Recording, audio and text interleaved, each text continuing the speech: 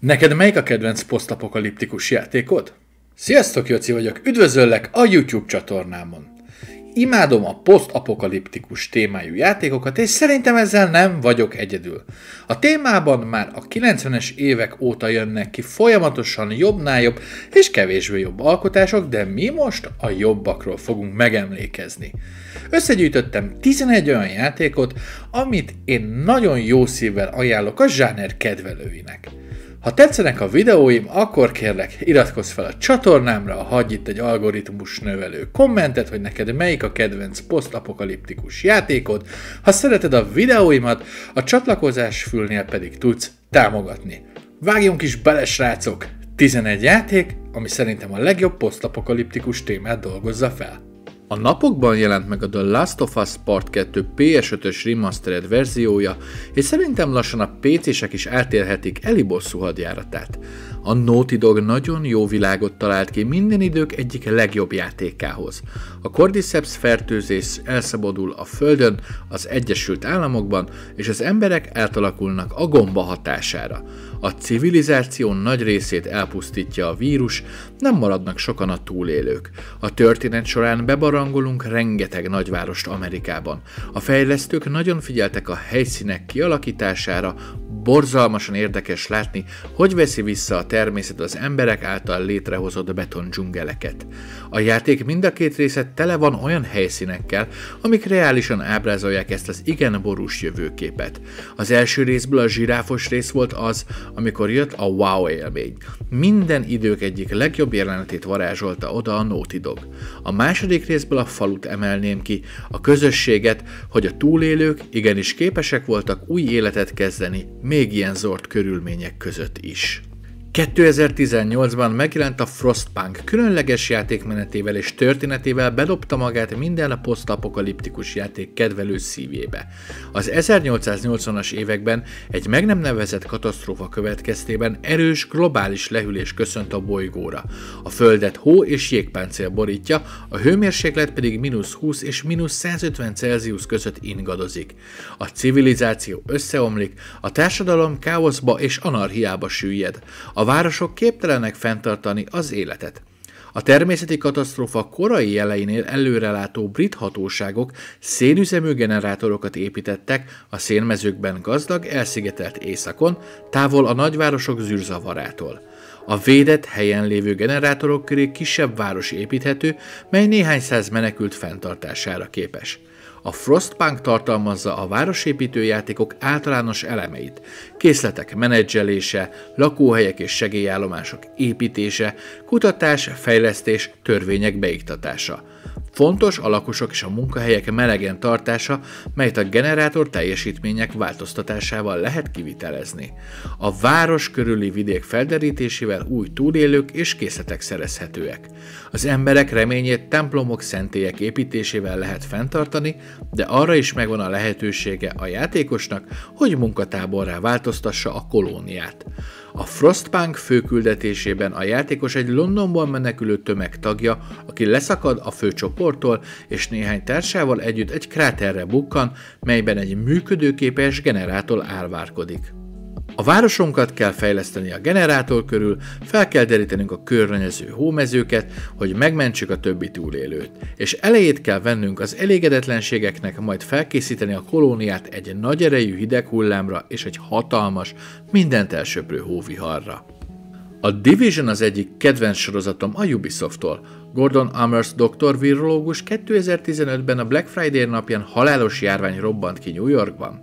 A célja nagyon egyszerű volt, a természetnek akart segítkezet nyújtani az emberiség szabályzásában, terve pedig kegyetlen sikerrel járt. Amherst saját laborjában úttörő technológiákat felhasználva állította elő a vírust, amelyet többek között a himlő, a H1N1 és az ebola keresztezéséből alkotott.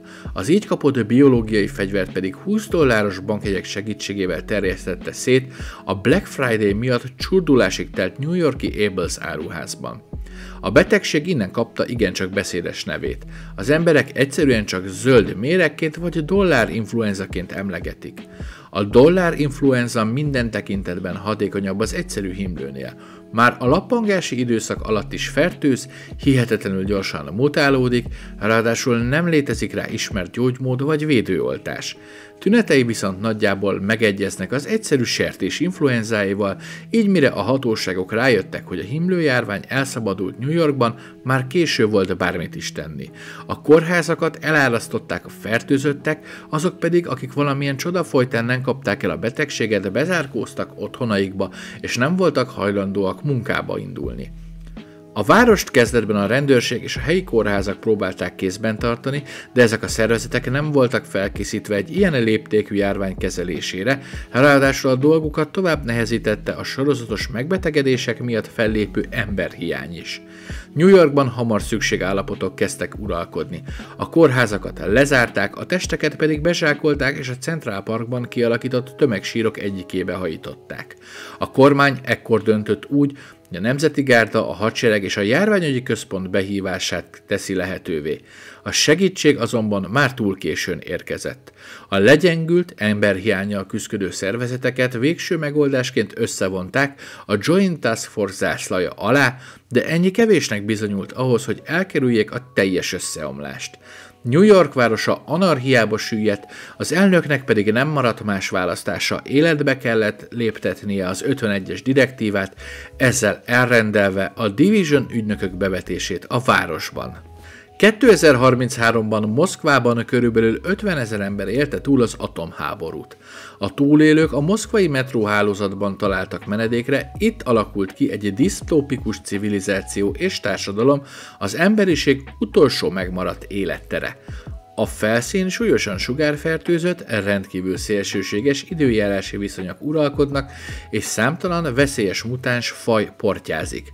A metróban szinte minden állomás egy-egy kisebb városállam, vagy több állomás egy-egy frakció irányítása alatt áll. A Red Line, a Reich, a Hansa és több független vagy félfüggetlen közösség létezik a föld alatti civilizációkban. A VDNH állomást veszélyes mutánsok ostromolják, a sötét lények. Egy nap megjelenik a titokzatos Hunter, és arra kéri Ártyomot, hogy jusson el a metró szívébe, a poliszba, és adjon át egy üzenetet Millernek, a spártaiak vezetőjének. A játék az apokaliptikus Death Stranding által sújtott Egyesült Államok területén játszódik.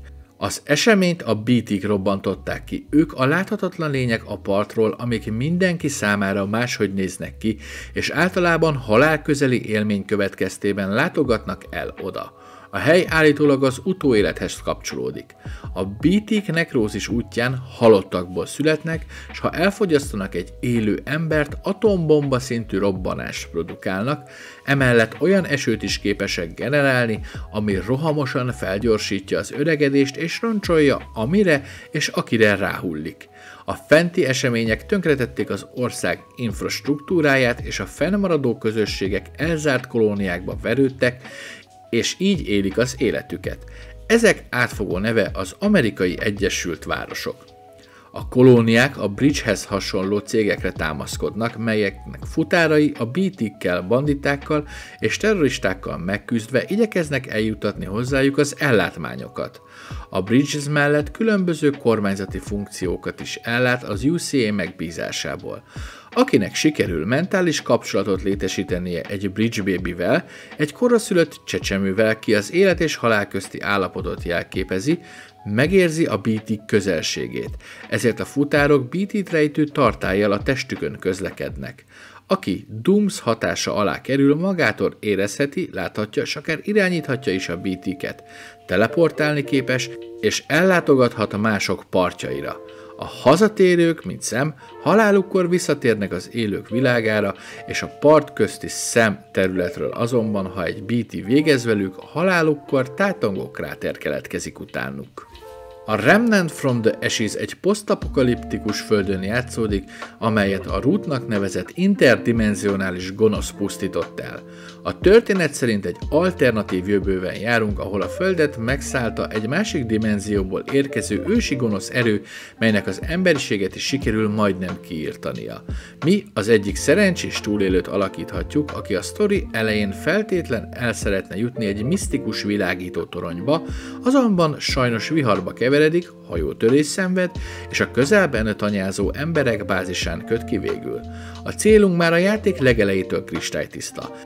El akarunk jutni a bevezetőben is látható toronyhoz.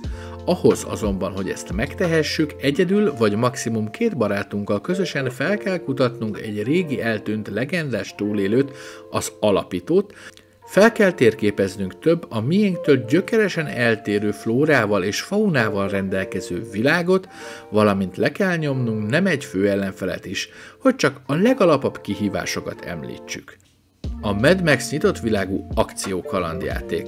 A senki földjén járunk, megtaláljuk és megbosszoljuk a játék előzményeként szolgáló eseményt, miszerint a helyi hadúr Scrabus Scroats elrabolja az autóját a főszereplőnknek, és a sivatag közepén magára hagyja szomjan halni. A senki földje egy elsivatagosodott, ám néhai civilizáció nyomait viselő világképeit adja vissza. Rozsdás hajóroncsoktól, a porlepte autópályákig, a magányosan rohadó szélerőműveken át, a homok által betemetett reptéren keresztül vezet utunk a játék világában, fővárosul szolgáló gázvárosba. A játék elején a filmekből ismerős Max magányosan rója senki földjét, mikor a Mad Max a harag útja főgonoszának halhatatlan Joe fiának Scroatnak az útjába kerül, harcban viszont alul marad. Scrubruce elviszi Max kultikus autóját, az Interceptort, és magára hagyja őt a sivatagban egy sebesült kutyával együtt. Magához térve megpróbál menedéket keresni, ahova a kutya is elkíséri, így találkozik a szönszülött Chambakettel, aki egyfajta posztapokaliptikus vallási filozófia profétárjának tartja Maxet, ahol a V8-as motorok az istenek. Egy vírus megtizedelte a Földet, és az emberiség nagy részét erőszakos zombiszerű lényekké változtatta, akiket Freakersnek hívnak. Oregonban Deacon St. John és William Boozer Gray törvényen kívüli motorosok, valamint Deacon felesége Sarah Whitaker megpróbálnak biztonságba menekülni. Találnak egy Nero helikoptert, amiben még két utasnak van hely. Miközben Sarah felszáll a helikopterre, Boozer megsérül, Deacon pedig hátra marad, hogy segítsen neki, miután megígérte, hogy újra találkozik a feleségével.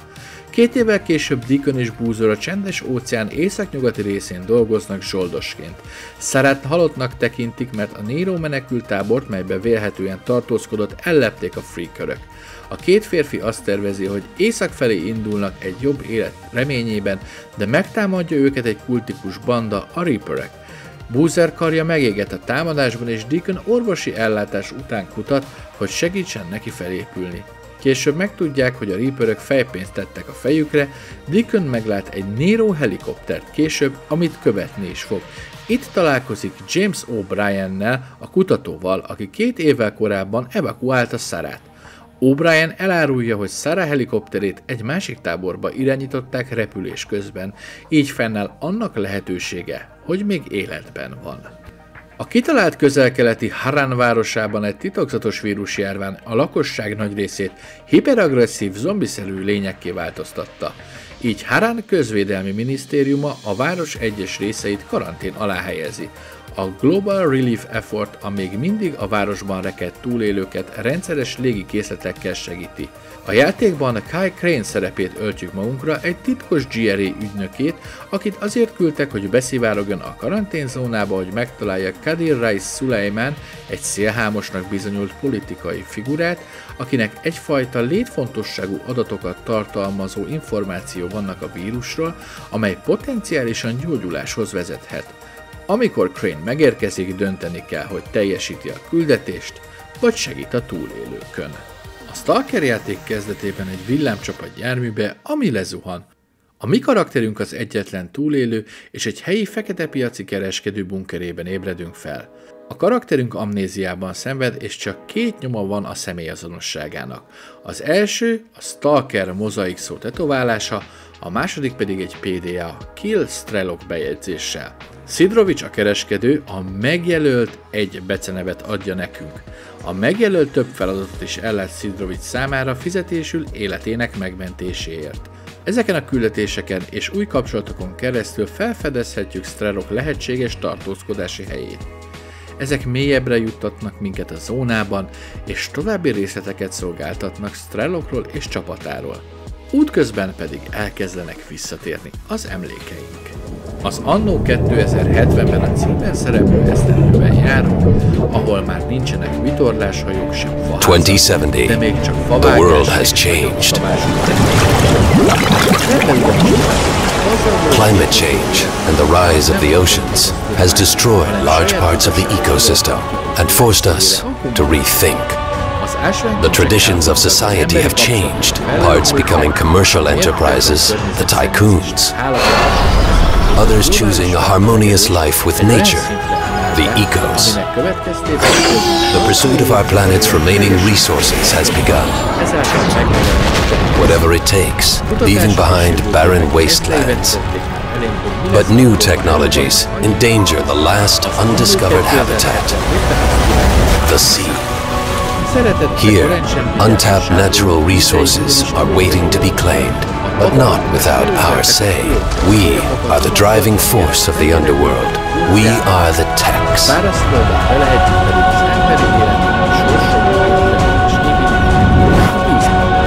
Anno 20. Köszönöm, hogy időt szántál a videómra. Ha tetszett, kérlek iratkozz fel a csatornára, hagyj itt egy algoritmus növelő kommentet, ha tetszenek a videóim, és támogatni szeretnéd a kis csatornám épülését, szépülését, a csatlakozás fülnél ezt meg tudod tenni. Köszönöm, hogy velem voltatok, sziasztok!